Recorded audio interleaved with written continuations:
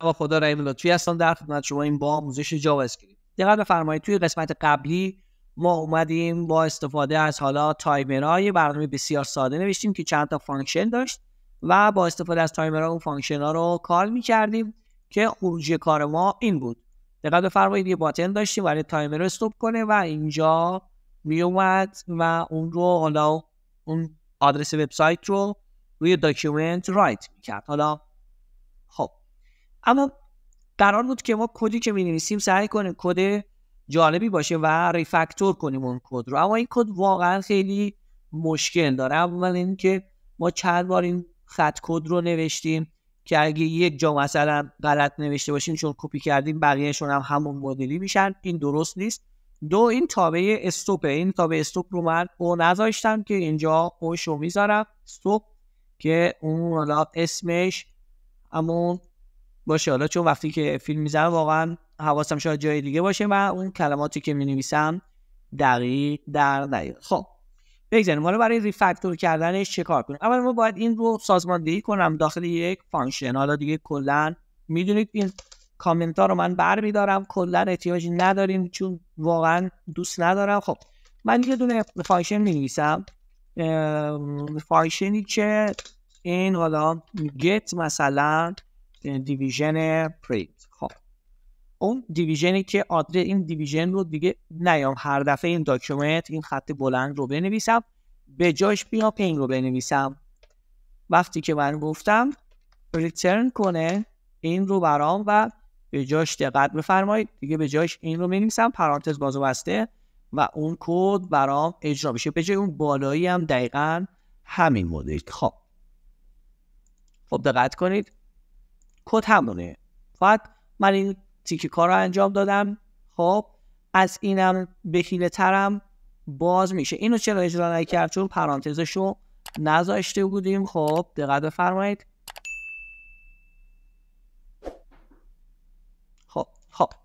میام چیکار می‌کنیم؟ میگم به جای اینکه پرینت کنه هر دفعه بنویسم html.text اینجوری زیبا نیست. بده به جاش یک function بنویسم که برام add کنه بهش. بگم آقا add کن. حالا تو مثلا تو division print قبول دارید؟ خب. به جای این میاد چی کار می‌کنه؟ میگم حالا برای مثلا جیر اون division ی که هست division print. و اینجا هم بیاد از این function ی که اینجا من نوشتم بیاد استفاده کنه. اون division رو بگیره. این پارامترها احتیاج نداریم. این division رو بگیره و بگه حالا division print dot inner html به اضافه اون text رو به جاش اینجا بهش بدم به این پا تا function بدم. قبول دارید؟ بگم حالا html مثلا تکست خب. تیش هم باید؟ بزرگ باشه. منظورم از باید یعنی اینکه اون کد ما خانایش میره بالاتر برای این کار. خب. اینم از این دیگه هیچ وقت من نمیام اینجوری بنویسم این خط بلند رو. فقط میگم این رو بهش اضافه کن. دقت کنید چقدر جالب میشه اون کد رو شما اگه درست بنویسید. چون من وقتی که آموزش میدم سعی می‌کنم حالا این نکات رو بگم اما واقعا نمیشه خیلی از یعنی ریفکتور کردی یا یه جوری نوشت که کاربر نتونه بفهمه. چون بیشتر دانش آموزا یا حالا دوستانی که با ما هستن شاید اصلا این مدل رو ندارن. ولی وقتی که کد نویسید باید اینجوری کد بنویسید که جالب باشه. خب علاوه بر اون اگه خب دقت کنید اینم جالب نیست که من اینجا بگردم دنبال اسم این دیویژن. این رو بر میدارم من. میگم یک متغیر سراسری تعریف می‌کنم. غیر مثلا میگم دیویژن پرینت. خب دقت کن. پایدیش. مساوی است با مساوی است. با این خب دقت کنید اگه شما زمانی که jQuery نوشتید باید sharp هم اولش بنویسید. برای دوستانی که jQuery بلدن و این پکیج رو می‌بینن. حالا sharp اولش بنویسید که اون division print دیگه ID ش داخل این هستش. دیگه من نمیام هیچ جایی اون رو بنویسم و اینجوری داخل کدم تمیز هستش. هر جایی هم خواستم تغییر بدم فقط اینجا رو تغییر پس اینجوری حالا level های refactoring رو من اینجا میگم.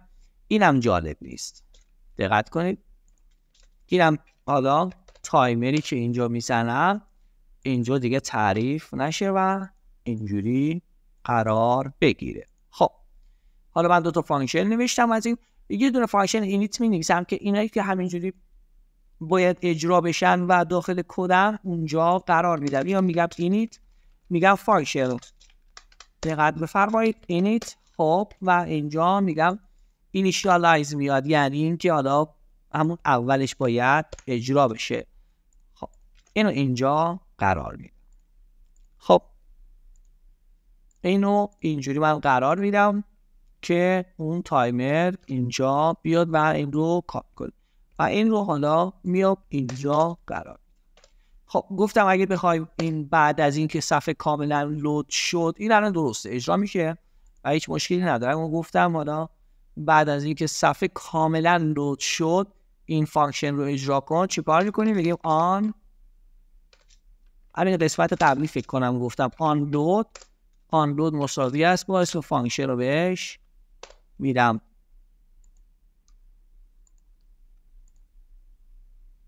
دقت بفرمایید. میگه وقتی که کل سند load شد این یکی از event های document هستش که اینجا سند load شد بیا این رو load کن و این تابع init رو که اینجا هست شروع می‌کنه به اجرا شدن و تا زمانی که سند کاملا load نشده اون script هم اجرا نمیشن. خب میام از بالا نگاه می‌کنم. این متغیر رو چسبونم به اینجا. یک حالا این فکت دیگه می‌کنم. دیگه کد رو فهمیدین توی قسمت قبلی.